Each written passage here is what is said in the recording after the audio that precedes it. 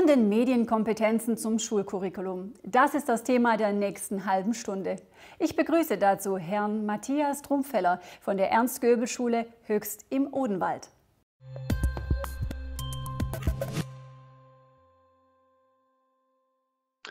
Ja, dann äh, herzlich willkommen zu meinem Vortrag. Vielen Dank für die Ankündigung. Wie gesagt, mein Name ist Matthias Trumpfeller. Ich komme von der Ernst-Gümbel-Schule aus Höchst im schönen Odenwald und ich möchte Ihnen heute ein bisschen etwas erzählen, wie wir von den Medienkompetenzen zum Schulcurriculum uns durchgearbeitet haben und wie wir den Schritt quasi dahin gemacht haben, wie das Ganze funktioniert. Und damit Sie einen Überblick haben über das, was ich Ihnen jetzt gleich entsprechend vorstelle, habe ich natürlich zunächst erstmal vorneweg eine Gliederung. Das heißt, als erstes werde ich Ihnen natürlich kurz mal etwas über meine Schulsituation sagen wo wir uns befinden, wie wir uns befinden und dann gehen wir dann auf dem nächsten Schritt direkt ins Schulcurriculum äh, da rein, gucken mal in der Medienbildung, in den KMK-Beschluss, was das denn bedeutet, bevor wir dann natürlich im Hauptteil in die Vorgehensweise reinschauen und überlegen, beziehungsweise gemeinsam draufschauen, wie wir das bei uns an der Ernst-Göbel-Schule gemacht haben, auf Basis der Kompetenzbereiche. Und äh, dann stelle ich Ihnen unser Kartensystem vor. Und zum Schluss sage ich noch zwei Sätze zur Weiterarbeit und zum Ausblick, wie das Ganze dann vorangeht. So, das heißt, zum Start erstmal vorneweg. Ähm, ich komme von der kooperativen Gesamtschule mit Oberstufe. Wir haben ca. 1200 Schülerinnen und Schüler und ca. 110 Lehrkräfte, befinden uns im ländlichen Raum, irgendwo in der Mitte zwischen Darmstadt und Heidelberg. Ähm, wir haben bei uns an der Schule zwei ja, veraltete PC-Räume, würde ich jetzt mal sagen. Also die Rechner sind so lange an der Schule wie ich auch, das heißt seit mittlerweile 13 Jahren. Zum Teil natürlich auch nachbesetzt, aber gut. So, dann haben wir ActiveBoards äh, in ca. 20 unserer Klassenräume mittlerweile. Und äh, das Schöne bei uns ist tatsächlich, wir haben WLAN komplett flächendeckend über das gesamte Schulgelände verteilt. Und seit 2016 gibt es eben eine Arbeitsgruppe, die sich Medienbildung nennt äh, und der ich entsprechend vorstehe und die eben dafür verantwortlich zeichnet, was wir jetzt hier bei uns in den letzten fünf Jahren da entwickelt haben. Gut. Ähm, diese Arbeitsgruppe Medienbildung, damit Sie da eine Vorstellung haben, was das bedeutet. Und das ist etwas, was ich Ihnen auch auf jeden Fall empfehlen würde. Da ist es so, dass ich als Medienpädagoge, ich bin also ich bin normale Lehrkräfte, Sport, Geschichte und Theater sind meine Fächer, aber dann quasi als Medienpädagoge im Zentrum stehe und dann habe ich einen äh, IT-Beauftragten nochmal extra. Das heißt, ich bin tatsächlich für die pädagogische Seite zuständig und wir haben extra jemand, der für die technische Seite zuständig ist. Äh, dann haben wir noch einen MINT-Beauftragten, weil wir eine MINT-freundliche Schule sind. Äh, wir haben LANIS äh, auch nochmal zusätzlich jemand weiteres, der als LANIS-Beauftragter da mitarbeitet in dieser Arbeitsgruppe und eben dann für die ja, Netzwerke quasi und den ganzen Verwaltungsteil zuständig ist. Ähm, Verwaltungsteil gibt auch schon einen Hinweis. Natürlich haben wir ein Schulleitungsmitglied. In unserem Fall ist es jetzt mittlerweile der stellvertretende Schulleiter. Vorher war es ein anderes Schulleitungsmitglied, was in dieser Arbeitsgruppe da zentral natürlich mit drinsteckt. Dann haben wir die Leitung des Methodencurriculums, die dann nochmal mitarbeitet. Und als letztes haben wir, ja, aktuell gerade nicht mehr leider, Sie sehen es, äh, die externe IT-Beratung. Und das war bisher so, dass da die Person entsprechend bei uns mitgearbeitet hat. Jetzt hat unser Schulträger den Anbieter gewechselt. Und da müssen wir mal schauen, ob auch die dann in Zukunft unter Umständen für diese Gesprächsrunden mit dabei sind und da dann auch konkret in der Planung sind oder jetzt aktuell erstmal nur Troubleshooting, ja, Prozesse begleiten. Das ist so ein bisschen schwierig. Das heißt, das ist die Situation. Mit der Arbeitsgruppe haben wir auch unser Konzept 2016 dann 17 entwickelt und ähm, damit kommen wir auch schon zentral zum Schulcurriculum Medienbildung. Ähm, wir haben erstmal als Basis den ja, Beschluss der Kultusministerkonferenz, nämlich die Bildung in der digitalen Welt. Das Strategiepapier, was vielleicht der ein oder andere von Ihnen mit Sicherheit kennt, ist ja jetzt schon eine Weile draußen, von 2016 auch, ist das schöne Heftchen als PDF. Und in diesem äh, Kultusministerkonferenzbeschluss steht, dass jetzt zentral hier auf dem Bildschirm zu sehen. Die Länder beziehen in ihren Lehr- und Bildungsplänen Kompetenzen ein, die für eine aktive, selbstbestimmte Teilhabe in einer digitalen Welt erforderlich sind. Dies wird nicht über ein eigenes Fach umgesetzt, sondern wird integrativer Teil der Fachcurricula aller Fächer. So, das heißt, das ist ein ganz zentraler Punkt, auf den ich hinweisen möchte. Das heißt, die Digitalisierung und die Bildung in der digitalen Welt findet eben nicht nur in Informatik oder Medien, Bildung, ITG oder wie auch immer sie man das Fach nennen möchte, statt, sondern ist eben integraler Bestandteil für alle Fächer. Und äh, bei der Gestaltung von Lehr- und Lernprozessen werden eben digitale Lernumgebungen entsprechend curriculare Vorgaben unter dem Primat des Pädagogischen systematisch eingesetzt. Das heißt, auch hier ganz zentral für mich zwei Dinge. Wie gesagt, erstens alle Fächer und zweitens die, äh, das Primat des Pädagogischen, was oben drüber steht. Das heißt, das ist immer die Frage, wie man da rangeht an die Sache. So. Und genau so ähm, geht es dann im entsprechenden weiter, denn tatsächlich ist es so, bis spätestens 2021, 2022, das heißt, jetzt im Sommer quasi gilt das, äh, müssen alle Fächer unter dem Primat der Pädagogik äh, entsprechend ja, digital arbeiten und eben entsprechend ihren Anteil bringen für die Bildung in der digitalen Welt. Ähm, dabei ist es ganz zentral für uns auch an der Schule gewesen, dass eben die pädagogische Entscheidung vor Ausstattung geht. Das heißt, nicht erst irgendwas anschaffen, kaufen, Hauptsache man hat tolle Computer dastehen, sondern tatsächlich wichtig ist erstmal, ja, dass man weiß, wo die Reise hingeht. Und das ist dann letztlich auch im Prinzip unser Leitbild gewesen zur Entwicklung des Mediencurriculums. Nämlich, wie Josef Beuys hier so schön sagt bei dem Zitat, bevor wir wissen, was wir tun, müssen wir wissen, was wir denken. Das heißt, erst, was wollen wir, was brauchen wir, wo geht die Reise hin, bevor man da wild äh, quasi PCs und dergleichen anschafft, Laptop-Klassen gründet und dergleichen mehr. Und ähm, damit kommen wir auch schon jetzt letztlich zum Hauptteil, nämlich unserer Vorgehensweise. Wie haben wir das bei uns an der Schule dann gelöst? So. Und da haben wir verschiedene Fragen. Nämlich die erste Frage ist, was haben wir denn schon? Also wo stehen wir eigentlich? Was tun wir denn schon? Denn sie starten alle nicht bei Null, sondern gut, im verletzten vergangenen Jahr brauchen wir sowieso nichts dazu zu sagen. Da wird ja sowieso ganz viel auch äh, nochmal in Bewegung gesetzt, was vorher vielleicht nicht denkbar war. Wir haben schon ganz viel. Das heißt, auch das war bei uns der Startpunkt, nämlich zu fragen, was haben wir schon? Und dabei haben wir eben eine Feststellung des Ist-Zustandes per Abfrage in den Fachschaften gemacht. Wie genau, das zeige ich Ihnen dann gleich noch. Die zweite Frage, die sich daraus ergibt, ist dann die Frage, äh, was müssen wir denn eigentlich? Also was sind exakt tatsächlich die curricularen Vorgaben, die eben da auch wiederum ähm, gegeben sind. Das ist ja auch von Bundesland zu Bundesland, Schulform zu Schulform immer wieder unterschiedlich. Ähm, das heißt, hier muss man natürlich auch über die Fachschaften reinschauen. Was sind da die Vorgaben, die eingehalten werden müssen? Was müssen wir denn tun? So, und äh, die dritte Frage, die wir hatten, ist die Frage, ja, was, was wollen wir denn eigentlich? Was soll denn der Weg sein? Und was sind die Dinge, die vielleicht unabhängig von dem, was im Curriculum gefordert ist, auch tatsächlich einführen möchten? Und äh, auch dazu haben wir eben ja, uns zusammengesetzt und haben eben dann ein ja, Curriculum Medienbildung formuliert, äh, in unserem Fall tatsächlich an einem pädagogischen Tag das ist das, was ich auch anraten würde für eben so eine große Aufgabe wie eben die ja, Entwicklung eines Medienbildungskurriculums. Und ähm, wie wir jetzt über diese drei Fragen da weiterkommen, das möchte ich Ihnen jetzt im Folgenden zeigen. Und zwar ähm, schauen wir erst nochmal auf die Kompetenzbereiche der Medienbildung rauf. So, auch hier wieder die Bildung in der digitalen Welt, das Strategiepapier der Kultusministerkonferenz. Und da haben wir zum ersten Mal sechs äh, verschiedene ja, Kompetenzbereiche, die dort abgebildet sind. Und zwar einmal suchen, verarbeiten, aufbewahren, kommunizieren und kooperieren, produzieren und präsentieren, schützen und sicher agieren, äh, dann an der Kamera vorbeitauchen, Problem lösen und handeln, das fünfte. Und das sechste, analysieren und reflektieren.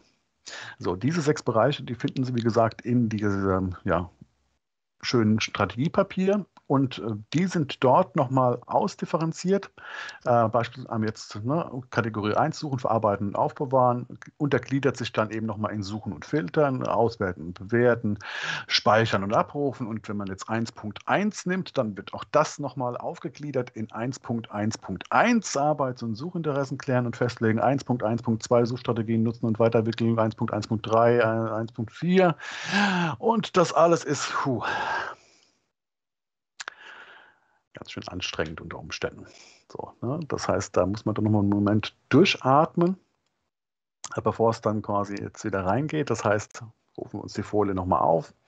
Äh, wenn Sie jetzt hier dazu nochmal genauer suchen möchten, dann können Sie ja tatsächlich, da sind Sie alle dazu in der Lage, eben dieses Strategiepapier aufrufen. Und dort finden Sie eben dann die verschiedenen Kompetenzbereiche in dieser Aufschlüsselung mit Unter- und Unterunterpunkten wieder. Und ähm, die haben wir uns jetzt als Basis genommen um darauf basierend ein Abfragesystem zu entwickeln, äh, um zu gucken, wo denn die Reise hingeht. So, das heißt, äh, behalten Sie diese sechs Kompetenzbereiche mal im Blick und dann gucken wir jetzt im nächsten Schritt, wie wir dann vorangehen. Das heißt also, wir haben nochmal hier unsere Vorgehensweise mit den drei zentralen Fragen. Was haben wir, was müssen wir und was wollen wir? Und genau die drei Fragen packen wir jetzt in ein Kartensystem. Das ist eben das, was wir bei uns entwickelt haben und was ich Ihnen heute eben zentral jetzt hier an der Stelle vorstellen möchte. So, das heißt, ähm, was haben wir? Wir haben hier die sechs Kompetenzbereiche, die Sie ja jetzt gleich dann auch wieder bei sich auf dem Monitor sehen dürften, in Form von einer Karte. Das heißt, das ist tatsächlich eine DIN A5-Pappkarte. Ähm, und die heißt eben dann entsprechend der Bereiche, suchen, verarbeiten, aufbewahren, kommunizieren, kooperieren, präsentieren, produzieren und so weiter und so fort. Und Sie sehen, die Karten sind grün. Das heißt, das sind die Dinge, die wir schon haben. Und da muss dann entsprechend natürlich jedes Fach ausfüllen mit einer Kurzbeschreibung drauf, was ist denn das, was da schon läuft. Und ähm, da kann man dann in Papierform das Ganze tatsächlich physisch in der Schule, wenn man denn da vor Ort sich wieder treffen darf, in der Konferenz das entsprechend tatsächlich mit einem Stift da reinschreiben. So. Dann haben wir als nächstes die Fragestellung, äh, was müssen wir denn? So, und dafür haben wir die gleichen Karten, genauso wieder. Aber dieses Mal sind die Karten eben rot umrandet. Das heißt, Achtung, Gefahr. Hier haben wir Dinge aus dem Kompetenzbereich Suchen, Verarbeiten, Aufbewahren im Jahrgang 5 oder so zum Beispiel, die wir tatsächlich eigentlich gemäß Curriculum erfüllen müssten, aber nicht erfüllen. Schönes Beispiel, was ich an der Stelle immer wieder bringen kann, ist äh, Kunstunterricht. Ich bin jetzt selbst kein Kunstlehrer, aber ich habe schon das Öfteren mit den Kunstkolleginnen und Kollegen da diskutiert und gesprochen und auch versucht, da entsprechende Weiterbildung anzuleihen. Ähm, seit langen Jahren ist es so, dass bei uns in Hessen in der Oberstufe digitale Bildbearbeitung Pflicht ist. Das müssen unsere Kolleginnen und Kollegen im Kunstunterricht machen. Äh, nur haben wir A, weder Rechner, die dazu in der Lage wären, noch B, haben wir irgendwie ein sinnvolles und verfügbares ähm, ja, Bildbearbeitungsprogramm. Ähm, denn tatsächlich eine, eine Profilizenz für Photoshop, das ist immer sehr schwierig. Wir hatten die mal zeitweise für eine gewisse Zeit, dann war das wieder nicht mehr finanzierbar darstellbar und das Ganze auch in Klassenstärke hinzubekommen, ist schwierig. Das heißt tatsächlich, das ist eine unserer roten Karten, äh, die wir immer noch auch weiterhin als rote Karte bei uns haben. Ähm, das heißt digitale Bildbearbeitung, Präsentieren und Produzieren, Kompetenzbereich 3, äh, die Karte ist rot für die Oberstufe bei uns, weil eben da tatsächlich ja, noch nichts läuft und da die Möglichkeiten fehlen. Ähm, so, das heißt also, grüne Karten, was haben wir? Rote Karten, was müssen wir? Und damit ist ganz klar, was der nächste Schritt ist, nämlich jetzt in gelbe Karten reinzugehen. Und die gelben Karten heißen dementsprechend folgerichtig, was wollen wir? Und auch hier haben wir wieder genau die gleichen Karten, die eben da jetzt dann zum Tragen kommen. Und das sind tatsächlich Unterrichtsvorhaben, die sich mit diesen Kompetenzbereichen beschäftigen, wo die Fachschaften sagen, da möchten wir gerne ran, da möchten wir was tun. Und ähm, das alles haben wir jetzt an die Fachschaften ausgegeben, an einem pädagogischen Tag, wie gesagt 2018. Und unsere Fachschaften haben das dann jeweils für ihre Fächer ausgefüllt, sind Jahrgang für Jahrgang durchgegangen, haben überlegt, gut, was haben wir denn schon, was machen wir denn schon, was ist tatsächlich so wiederkehrend auch unter Umständen im Jahresarbeitsplan, sofern es denn einen gibt. Ähm, schon festgeschrieben und hat mit dem Kompetenzbereich zu tun. Und das haben wir dann auf diese Karten entsprechend übertragen, sodass wir dann am Ende unseres pädagogischen Tages, am Nachmittag, einen großen, großen Berg äh, voller Karten hatten, den wir dann bei uns in der Arbeitsgruppe natürlich nochmal auswerten mussten, durften. Und da sind wir entsprechend rangegangen. Das heißt, wir haben dann diesen Kartenberg genommen, haben diese Karten tatsächlich physisch auch an die Wand gepinnt und ähm, die Karten sehen dann so aus. Das sind einfach hier verschiedene Beispiele. Die sind mal besser, mal schlechter von der Qualität dessen, was da wie ausgefüllt ist. Und ich habe nachher auch mal einen ganz groß, ähm, dass wir uns da mal eine anschauen können, wie die denn ausgefüllt dann aussehen könnte. Und all diese Karten, die jetzt hier so der Reihe nach aufploppen, haben wir dann genommen und haben sie in eine Wand gepinnt. So. Ähm, das, was Sie jetzt hier digital sehen können, da müssen Sie gar nicht im Detail drauf gucken können, sondern nur in der Gesamtheit, ähm, das haben wir dann tatsächlich auch nochmal im Originalformat ja, an der Wand hängen gehabt. Und das Originalformat heißt, äh, dieses Plakat mit diesen A5-Kärtchen, das können Sie sich ja grob dann überschlagen, ist dementsprechend äh, ja, 2,50 Meter hoch und äh, entsprechend dann auch 2,50 Meter, 3 Meter breit. Und damit sieht man auf einen Blick, wie damals so 70er, 80er Jahre Steckkartensystem für die Unterrichtspläne. Äh, für diejenigen, die das vielleicht noch kennen, ich kenne es aus Schülerzeiten, nicht mehr als aktiver Kollege. Äh, aber damit sieht man eben auf einen Blick, was man an der Schule schon tut, äh, wo der Stand ist und wo eben vielleicht etwas ja, so ein bisschen stiefmütterlich behandelt wird. Und wenn Sie jetzt hier drauf schauen, Sie müssen ja, wie gesagt, gar nicht im Detail drauf schauen, sondern in einem Blick haben Sie das hier jetzt an dieser Medienbildungswand. Da sehen Sie, dass wir eben im Bereich ähm, des Mittleres, das sozusagen Schützen und sicher agieren, vierte Kompetenz, das, wo das grüne und das rote Schloss ist, da ist es so ein bisschen dünn gesät. Dafür auf der anderen Seite sehen Sie, dass bei natürlich Präsentationen äh, alles vollgeklatscht ist mit Präsentationen, zum Teil eben auch vielleicht sogar überfrachtet. Ähm, und das ist eben etwas, wo man dann auch auf einen Blick sehen kann, wo man unter Umständen neue Konzepte reinsetzen muss im Sinne der Schulentwicklung, um äh, da dann voranzukommen und da weiterzuarbeiten. So, das heißt, äh, das ist im Endeffekt schon das zentrale System.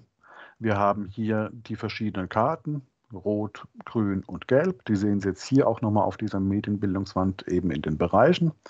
Ähm, dann haben wir für uns selbst quasi festgelegt, ne, wenn wir drei grüne oder dann zumindest gelbe Karten haben, dann finden wir das gut. Das heißt, pro Jahrgang und dann natürlich müssen wir auch nochmal bei uns als kooperative Gesamtschule auf die Schulform dann nochmal entsprechend achten. Ähm, haben wir aber, wie gesagt, hier dann einen zentralen Überblick über das, was jetzt bei uns entsprechend passiert und können dann in der Schulentwicklung entsprechend agieren. Und ähm, ich wollte Ihnen da jetzt eine Karte mal rausholen. Das heißt, wir zoomen uns mal in eine rein und gucken jetzt einfach mal hier gemeinsam drauf ähm, auf diese eine Karte. Und da sehen Sie eben, dass es hier eine gelbe Karte ist. Das heißt, das ist ein Unterrichtsvorhaben ähm, aus dem Fachbereich Englisch. Dafür ist dann die Englischfachschaft als Ansprechpartner zuständig. Die Schulformen, die das betrifft, sind Hauptschule, Realschule und Gymnasium im Jahrgang 7. Und da ist es eben die Absicht der Englischfachschaft hier Internetkontakte zu englischsprachigen Schülerinnen und Schülern herzustellen. Und dann haben wir hier nochmal aufgelistet, eben dann auch sehen Sie die Unterkompetenzen die entsprechend ähm, dann auch auf dieser Karte mit angegeben werden und die jetzt hier definiert werden, wie das die Englischfachschaft machen möchte. Das heißt, auch für mich als jetzt entsprechend der Zuständige aus dem Medienpädagogikbereich, ähm, ich kann natürlich nicht für jedes Fach alles durchdringen und in der fachlichen Tiefe verstehen. Und deswegen brauchen wir hier alle Fächer. Sie erinnern sich an den Anfang, integraler Bestandteil, Primat des Pädagogischen. Äh, das heißt, die Englischfachschaft stellt hier fest, okay, ähm, Sie müssen mit verschiedenen Kommunikationsmöglichkeiten, Skype, E-Mail, Ne, 2018 hat man da noch Facebook draufgeschrieben, WhatsApp und so weiter äh, entsprechend umgehen können. Und auf Basis dieser pädagogischen Entscheidung kann man jetzt rangehen und sagen, okay, was brauchen wir denn dann? Das heißt, ganz konkret jetzt in dem Falle hier beispielsweise für die Englischfachschaft war es dann so, äh, die Englischfachschaft hat es beschlossen für die Jahrgang 7 und dann war klar, alles klar, wir brauchen Headsets für die Schule. So, das heißt, auf Basis unserer pädagogischen Entscheidung, dass wir hier im Bereich Kommunizieren, Kooperieren in der Klassen 7 ähm, entsprechend vorgehen möchten, war dann klar, dass wir natürlich dann einen Klassensatz brauchen an äh, Headset-Möglichkeiten. Natürlich haben wir auch mit Bring Your Own Device gearbeitet. Das heißt, die Schüler haben auch unter Umständen, wenn sie ein eigenes Headset haben, das natürlich auch mitbringen können. Aber natürlich braucht man trotz alledem einen Grundstock an solchen Gerätschaften. Man braucht dann entsprechend die Computer, die die Verbindung haben um das dann auch durchführen zu können. Und man braucht natürlich auch die Partnerschaften, jetzt in dem Falle natürlich zu anderen Schulen im englischsprachigen Raum, die dann ganz zentral drin sind. Aber eben hier sehen Sie den Weg, den ich äh, vorhin kurz angedeutet hatte, dass man zunächst erstmal wissen muss, was möchte man? Okay, wir möchten mit englischsprachigen Schülern per Internet in Austausch geraten, in Skype-Konferenzen oder aber auch über andere Plattformen da ähm, tatsächlich kommunizieren. Das heißt, wir brauchen einmal Computer, die natürlich internetfähig sind. Okay, gut geschenkt.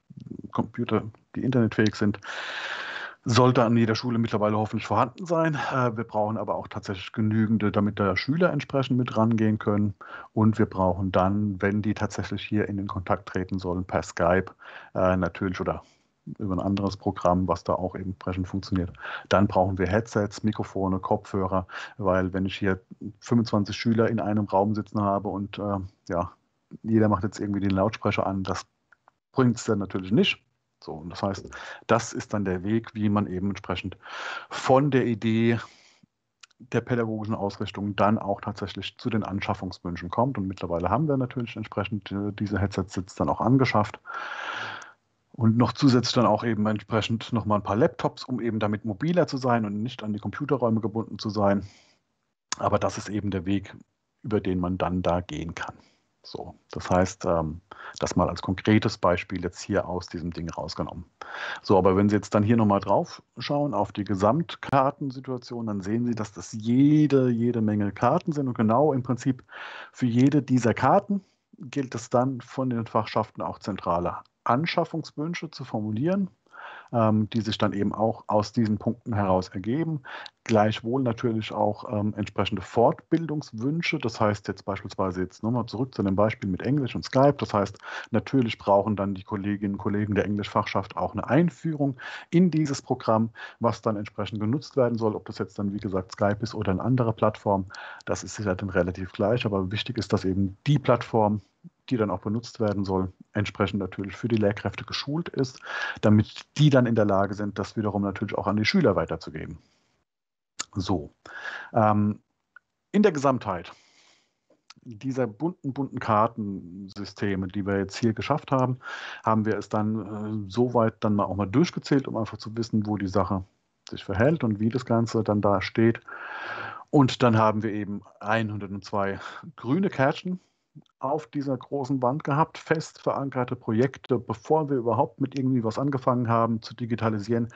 Gibt es tatsächlich bei uns an der Schule, klar, wir sind ein sehr großes System mit 1200 Schülern, bereits 102 fest verankerte, immer wiederkehrende Unterrichtsinhalte, die in den Bereich der Digitalisierung gehören. Wir haben dann festgestellt, dass die Kollegen sehr motiviert waren, auch durch die Vorgehensweise, weil sie gesehen haben, auch das ist ja auch, ähm, äh, es ist ja jetzt kein Hexenwerk, sondern das sind ja die Alltagsdinge, die wir sowieso schon immer machen. Und lass uns doch mal gucken, was könnte man denn noch alles tun. Und es gab also entsprechend 106 dann äh, Unterrichtsvorhaben, die daraus sich ergeben haben. Und nochmal kurz im Kopf zurückgedacht, wir haben 110 Kolleginnen und Kollegen, 106 Vorhaben, heißt dann im Endeffekt nichts anderes, als dass jeder Kollege sich ein Ding ausgesucht hat und gesagt hat, okay, ich möchte gerne dies oder das voranbringen. Das heißt, das ist jetzt auch nichts, wo man dann ähm, äh, mit riesigem Aufwand jetzt dann da vorangehen muss, sondern die Zahlen ergeben sich einfach anhand der Kolleginnen und Kollegen. Und äh, natürlich war es dann auch so, dass jetzt nicht jeder Kollege sich ein einzelnes Projekt gesucht hat, sondern tatsächlich auch äh, mehrere Kolleginnen und Kollegen natürlich in den Fachschaften zusammengearbeitet haben, um dann da entsprechend voranzugehen. Und als letzte Zahl, auch um die noch mit aufzulegen, ähm, haben wir dann eben 48 curriculare Inhalte gefunden, die eben noch nicht implementiert sind, wobei da, wie gesagt, eben solche Dinge drinstecken, wie beispielsweise äh, mit der digitalen Bildbearbeitung die natürlich ein Problem sind. Oder aber auch zum Teil hinken die curricularen Vorgaben auch deutlich zurück hinter der realen Welt. Das heißt, beispielsweise hatten wir 2018, wenn ich mich recht entsinne, ich möchte da jetzt nicht lügen, aber ich glaube, es war im, im Bereich Erdkunde ähm, Kolleginnen und Kollegen, äh, die dann da äh, noch mit CD-ROM gemäß curricularer Vorgaben bearbeiten sollten, ähm, was aber dann tatsächlich natürlich einfach veraltet ist und dementsprechend dann auch rausfällt. Gut. So, jetzt haben wir das, wie gesagt, 2018 an einem digital, äh, an einem pädagogischen Tag äh, durchgeführt. Ähm, 2019 haben wir das Ganze dann über eine Fachschaftsabfrage dann quasi nochmal uns ja, aktualisieren lassen und dabei hat sich ergeben, dass eben beispielsweise aus dem roten Bereich äh, neun Probleme verschwunden sind. Aus dem gelben Bereich haben 30 Projekte sich verabschiedet. Diese 30 Projekte davon sind 18 in fest verankerte übergegangen unter Umständen. Andere sind quasi beendet worden, nachdem man sie pilotiert hat und gesehen hat, okay, nee, taugt so nicht, müssen wir nochmal uns anders angucken. Und ähm, ja, 76 Projekte könnte man jetzt behaupten, wären quasi fortgeführt, aber natürlich ist es nicht ganz so einfach, sondern das sind zum Teil natürlich auch neue Dinge, die dann gestehen sind.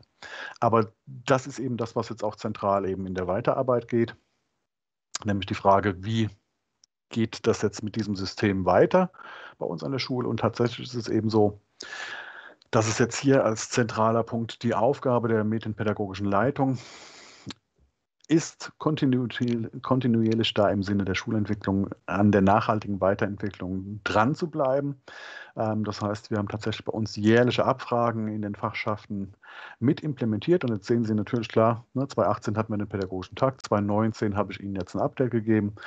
Das Update 2020 musste leider entfallen, weil wir da tatsächlich so ein bisschen was anderes zu tun hatten, organisatorisch. Ich denke, das dürfte den meisten von Ihnen nicht fremd sein. Aber tatsächlich ist es so, dass wir jetzt für 21 äh, wieder die Aktualisierung draufstehen haben. Und ähm, die ja, Kolleginnen und Kollegen haben in den Osterferien bereits dann äh, die Abfragebögen wieder bekommen. Das wird dann bis zu den Sommerferien entsprechend bei uns in der Arbeitsgruppe wieder eintrudeln. Und dann werden wir das entsprechend auswerten und dann zum neuen Schuljahr haben wir dann den neuen Stand. So, das heißt, jährliche Abfrage, dranbleiben, das nicht einfach schleifen lassen, ist dann natürlich ganz zentral, wie bei allen Dingen, die man implementieren möchte. Und dann, äh, was natürlich auch zentral ist, ist das, was ich ja vorhin auch schon kurz angedeutet hatte, nämlich tatsächlich eine kontinuierliche Abfrage und Weiterbildung im Bereich äh, Medienbildung entsprechend natürlich der Fachschaftswünsche. Das heißt, wenn dann über konkrete Dinge festgestellt wird, okay, wir würden gerne mit, jetzt bleiben wir dabei, Skype arbeiten, ähm, können wir da mal irgendwie ein Projekt bei uns an die Schule holen? Gibt es unter Umständen was von ja, externen Anbietern? Das ist ja auch immer etwas, was ich natürlich sehr empfehlen möchte, ähm, sich da auch Fachschaft, äh, ja, Fachleute mit ins Boot zu holen, sich zu verbinden. Und äh, ja, wir haben tatsächlich bei uns einen zweiten pädagogischen Tag dann durchgeführt, 2019 ähm, der eben zentral mit Weiterbildung sich beschäftigt hat. Und das ist auch noch etwas, was Sie vielleicht bei sich mal im Bundesland prüfen müssten oder auch im Schulamtsbereich prüfen müssten. Ähm, tatsächlich ist es so, dass bei uns im Schulamtsbezirk ähm, man hat in Hessen einen pädagogischen Tag pro Schuljahr den man durchführen kann für Qualifikationsmaßnahmen. Und wenn man dann aber einen pädagogischen Tag zum Bereich Medienbildung macht, dann war es zeitweise bei uns so, dass man dann eben einen weiteren pädagogischen Tag auch noch mitbekommen konnte. Deswegen dieses zweite in Anführungszeichen. Das müssen Sie aber natürlich bei sich vor Ort prüfen und äh, grundsätzlich äh, arbeiten Sie mit den Medienzentren zusammen. Das sind tolle Leute, die da gerne bereit sind, Sie zu unterstützen. Auch bei uns war es so, dass wir mit dem Medienzentrum vor Ort zusammengearbeitet haben, mit dem Schulamt und dem Schulträger. Das heißt, ohne das geht es natürlich nicht. So. Gut, jetzt habe ich Ihnen unser Kartensystem vorgestellt. Und jetzt bleibt jetzt quasi nur noch die Möglichkeit, äh, ja, Fragen zu stellen. Ähm, das ist natürlich heute ein bisschen schwieriger, da wir ja nicht direkt hier im Live-Stream äh, so konkret miteinander verbunden sind, aber ich hoffe, dass das jetzt gleich im Chat dann entsprechend auch gut funktioniert miteinander. Und wer aber tatsächlich hier dann einfach mich auch anschreiben können möchte, ähm, das ist meine Dienst-E-Mail-Adresse. Da können Sie mich anschreiben Und äh, ja, tatsächlich geben wir dieses Kartensystem gerne auch raus. Äh, das basiert auf KMK-Vorgaben. Insofern ist es ja nichts, was wir uns komplett neu ausgedacht haben. Und äh, das Einzige, was wir da dann haben möchten, aber das kriegen Sie dann auch in einem Anschreiben, ist dann tatsächlich eine Spende für unsere Schule, selbst für unseren Schulverein als Unterstützung und als kleiner Dank für die Vorarbeit. Denn am Ende des Tages müssen Sie die Arbeit bei sich an der Schule lösen die Probleme in den Griff bekommen. Und wie gesagt, wenn Sie da Fragen haben, können wir gleich jetzt nochmal ja, das eine oder andere vielleicht direkt klären. Aber Sie können sich, wie gesagt, auch gerne meine E-Mail-Adresse notieren und dann, wenn da was ist, dann komme ich natürlich gerne auf Sie zu und versuche da ein bisschen zu unterstützen, soweit wie das eben über die Entfernung dann auch funktioniert. Gut, ja, das war's von meiner Seite. Insofern vielen Dank äh, für das Zuhören und äh, ich hoffe, ich konnte Ihnen so ein bisschen weiterhelfen und auch so ein bisschen den Blick öffnen, äh, dass man eben hier tatsächlich von dem, was man möchte, ausgehen muss und tatsächlich den pädagogischen Blick zentral vorne ranstellt, bevor man ja, Dinge von Berge von Materialien anschafft. Und am Ende hat man 20 Laptops und keiner weiß, was man machen soll. Insofern vielen Dank und äh, ja, bis demnächst, sage ich jetzt mal.